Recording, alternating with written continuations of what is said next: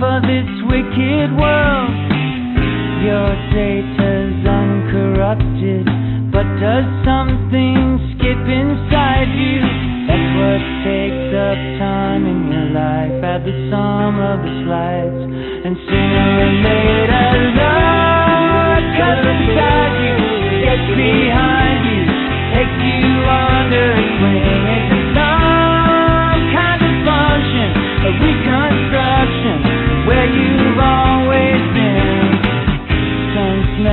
that's so passe.